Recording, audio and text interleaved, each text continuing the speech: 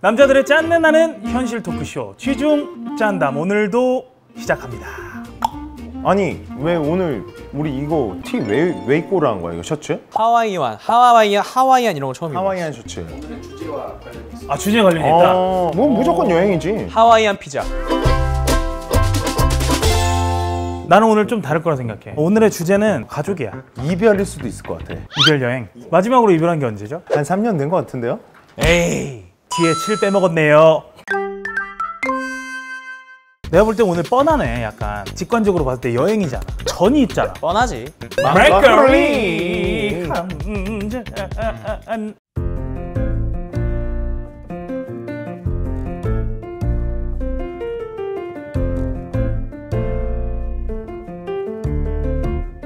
야 그럼 막걸리 전문가인 성현이가 그래, 한번 그래. 따, 따보자. 사실 이- 이렇게들 하고 하시잖아요. 그래 상관없어요. 그냥 쉐이크 쉐이크 해줘도 되고. 아니 이거 이거를 안 섞는 사람도 있더라고. 아 근데 안 서는 분들도 계세요. 그리고 마지막에 극강의 맛을 느끼는.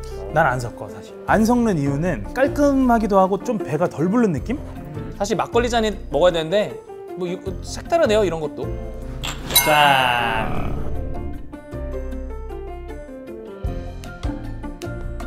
우리 그 토크 또 여행이 주제인 것 같은데 우리 토크 여행. 오늘 솔직히 옷차림만 봐도 100% 여행이다 이건 뭐 이렇게 유추가 야, 뭐좀 주제 좀 빨리 공개해 주세요. 아 오늘 주제 고기 궁금하구나. 따란. 역시 출발. 여행하면 출발이지. 출발하면은 정말 수많은 것들이 떠오르기 시작하는 어떤 그런 거 개인적으로 여행 작가잖아요.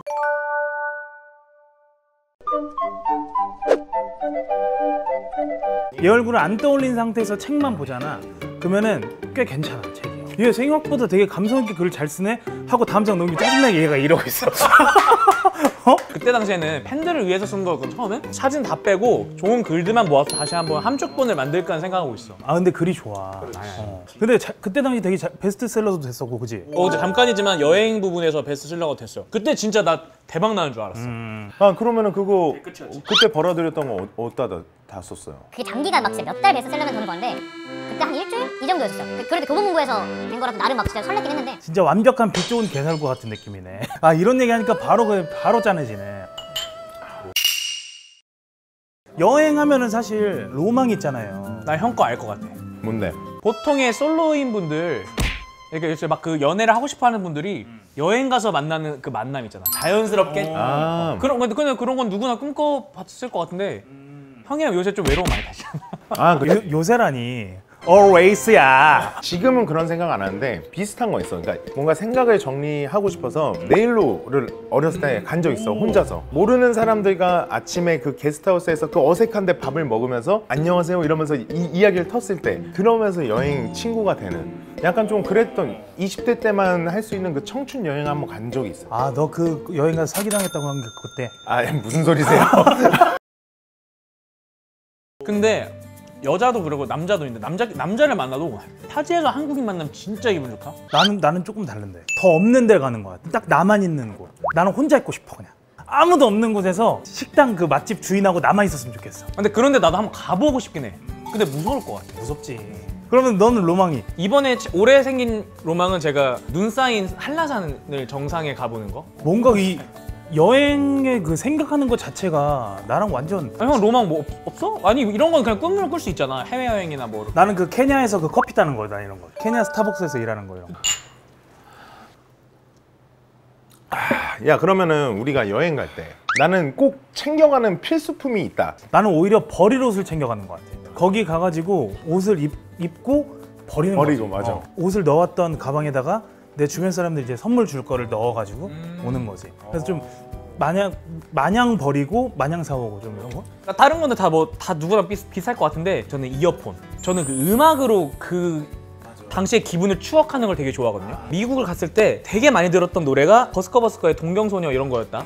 그럼 그때 정말 그걸 계속 들어. 한국에 와서 어느 순간 그, 그 노래가 어디서 흘러나오잖아. 그럼 그때가 너무 떠올라. 그래서 나는 음악을 너무 좋아하다 보니까 이어폰이 없으면 답답해 미칠 것 같아. 해외 여행 갔을 때. 그러면 세드맨 뭐 편한 신발 나는 해외를 나도 일본밖에 안 가봤지만 건물들도 그냥 신기하고 거- 그다음 지나가는 사람들도 신기해서 좀 많이 걷는 편인데 거기서는 근데 신발을 좀 불편한 걸 신었다가 굉장히 내가 막 고데기 당한 적이 있어서 그렇죠 그렇죠 그래서 좀 편한 그때 옆에 신발 제가 있었죠 둘이 저 빼고 잘 다니시네요. 한잔 할까요, 우리? 아 오늘 오늘은 근데 뭔가 힐링이 되네. 그러니까 어. 나는 같이 한번 셋이 한번 거기 갈래? 어디? 송추계곡, 송추계곡. 아. 당일로 가서 폭포소 있는 그 있거든. 거기 백숙 파는데. 얘는 얘는 당일로 못 가. 얘는 용인인데. 양양도 되게 요즘 핫하다고 그러던데. 사람이 너 옛날엔 좋았거든요. 아우 난 사람 많은데 싫더라. 지금은 너무 많아져서 막 거의 클럽으로 변하고 막 맞아, 요즘 양리단길이 생겼다며. 어, 난 궁금해. 나는 딱 그거 같아. 여행지는 정말 유명해지기 전에 맞아, 가 맞아, 좋은 맞아, 것 맞아. 같아. 되게 좋은 거. 한적한 데가 좋아 무조건. 어. 가사를 한번 보면서 내려봅시다. 아 맞아 우리 가사 예. 있지 참.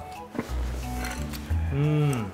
새로운 풍경에 가슴이 뛰고 별것 아닌 일에도 호들갑을 떨면서 나는 걸어가네 휘파람 불며 때로는 넘어져도 내 길을 걸어가네 어.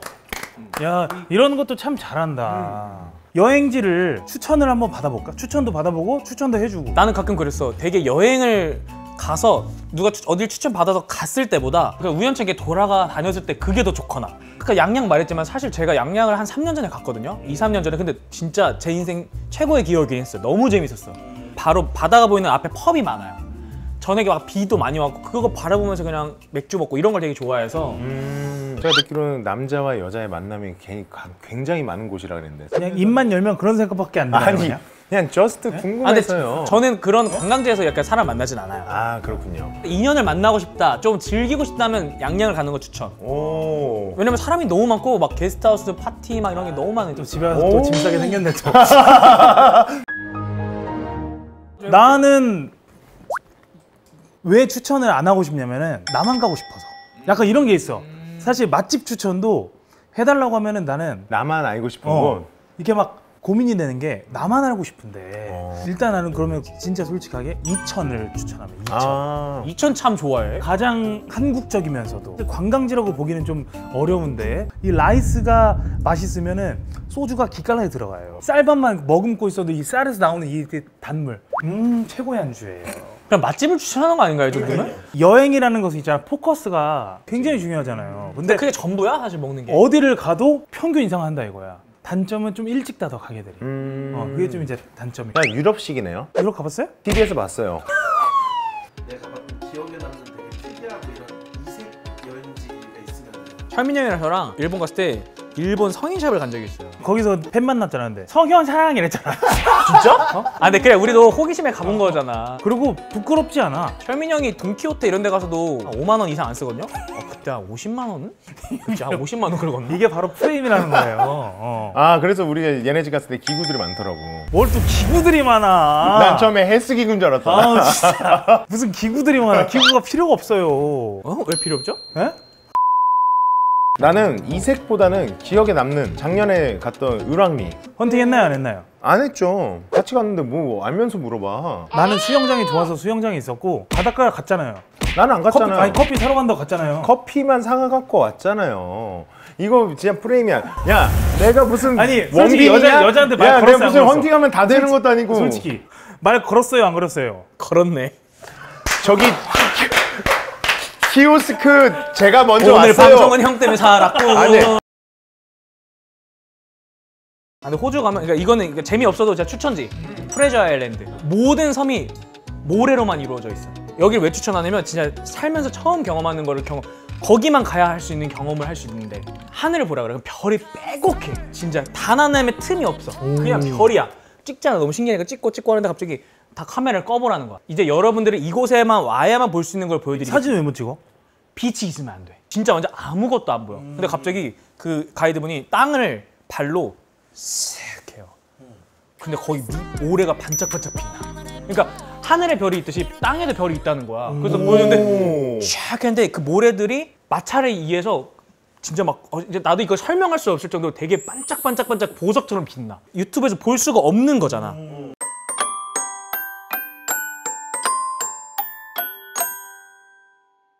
저는 개인적으로 또 버스 기사 아저씨랑 캥거루가 맞짱 뜨는 걸 봤어요. 아 이거 너, 진짜요? 너 진짜 유튜브 강 많이 연, 그게 아니고 노력한다. 일출을 보면서 열기구를 타는 그런 코스가 있는 거야. 사실 나만 봤어 근데 그걸 왜냐면 다 잤거든. 모든 관광객들 다 자는데 나는 그냥 잠이 안 오는 거야. 그걸 보면서 가는데 갑자기 딱 멈춰 갑자기 택시 버스 기사가 맨 앞에 있었어요 제가. 딱쨍 저걸 딱 봤는데 탱- 캥거루가 진짜 이러고 이렇게 하고 안 비켜주는 거야. 그 아저씨랑 눈싸움을 하더라고. 라이트 막 바닥바닥바닥 하면서 빵빵 했는데 걔가 그냥 계속 이러고 계속 이러고 있어. 진짜 계속 이러고 있어. 그래서 난 너무 신기했어. 어, 어, 캥거루를 진짜 이렇게 돌아다니는구나. 아저씨가 내려가지고 가가지고 발길질처럼 이렇게 막 하니까 어. 걔는 그거 막 하면서 아저씨가 야 오늘 잘하네. 야 드디어 5화 만에 제일 웃겼다. 오늘 잘하네. 와, 확실히 여행 이렇게 하니까 가더라고 걔가. 다음 장 넘기면 왠지 내가 할 게 있을 것 같으니까 다음 장 넘겨볼게요. 가벼운 발걸음 닿는 대로 끝없이 이어진 길을 그 천천히 걸어가네. 멍하니 앉아서 쉬기도 하고 가끔 길을 잃어도 서두르지 않는 법 언젠가는 나도 알게 되겠지 이 그리고 나에게 가르쳐줄 테니까 이거 맞나요? 연예인 뭐 그만두기로 한 거야? 여기서 이 가사들 중에서 맨 마지막 이 길이 곧 나에게 가르쳐 줄 테니까. 근데 이런 적 있어. 나도 가끔 살면서 답이 어- 없어. 그러니까 내가 아, 나 막막할 때 있잖아. 그럴 때 여행을 떠났던 것 같아. 사실 문제가 있을 때 말이야 문제는 굉장히 그 가까운 곳에 해답이 있더라고 가까운 데라도 떠나가지고 직관적으로 딱 바라볼 수 있게 되는 어떤 그런 여행지에서는 해답이 금방 나오는 것 같은 느낌이 들더라고 내 상황을 싫고 내 상황을 피하고 싶어 하면 여행이 최고인 것 같아. 왜냐 여행을 가면은 그곳에 내가 있던 상황이 되게 행복했던 거를 알게 되는 거거든. 내가 갔던 여행 은 거의 대부분 현실 도피의 여행이 제일 많았지. 뭔가 refresh 할 수 있는 뭔가의 각오를 다질 수 있는 그런 시간이 필요했던 것 같아. 주로 그럴 때 가, 는것 같아 여행은. 나 역시도 일단 비행기표부터 끊어놓는 거야. 취소가 안 되는 비행기표를 끊어놓고 그대로 가는 거지. 깨달음이 필요해서 가는 여행이 아니라 가보니까 깨달음이 생기더라. 난 좀 이랬던 적이 좀 많거든. 이제 여행 작가다 보니까 콘서트나 북 콘서트를 하게 되면 사람들이 여행의 정의가 뭐냐고 되게 많이 물어본다. 근데 정의는 사실 나도 아, 정확하게 말을 못 해주지 여행의 정의인데 내가 느끼는 거는 그 마음가짐인 것 같아. 그냥 이렇게 막 되게 일하고 집에 갈 때 한강 건널 때 하늘 보면 너무 행복하다. 그럴 때 하늘이 너무 이쁠 때 사실 여행이라는 게 별거 없거든. 그냥 여행도 가서도 형도 힐링이 되고 싶은 거고 기분이 좋고 싶은 거잖아. 잘못하고 있는 게 여행을 가서 길을 잃으면 되게 좋아한다. 아 이렇게 잃었으니까 다른 풍경도 보게 되는 거지 뭐. 근데 한국에서는 길 잃어봐 바로 욕해. 내비 한 번만 잘못하도 욕해. 우리 마음가짐인 거야. 그냥 우리 삶도 사실 여행이잖아. 야하. 우리가 잠깐 살고 가는 거잖아. 확실히 말을 자- 잘하네 오늘은 거의 캐리했네 오늘은 여기서 인사드리도록 하겠습니다. 나에게 여행이란 땡땡이다 쉼터. 오 이렇게 생각수 정리할 수도 있고 아니면 놀러 가는 거일 수도 있고 쉼터를 제공해주는 곳이니까. 다시 나에게 여행은 인생이다 지금 이 순간도 여행이고 계속 가야 되기 때문에 오늘 여기서 끝나고 밥 먹으러 가는 것도 여행이고. 나에게 여행은 매일이다. 형 근데 여기 의미가 비슷해서. 아 어 그래도 오늘 좋아? 어, 좋아요. 매일? 솔직히 이거는 방송용이고 무슨 매일 여행이야. 맨날 그지 같은데. 방송이고.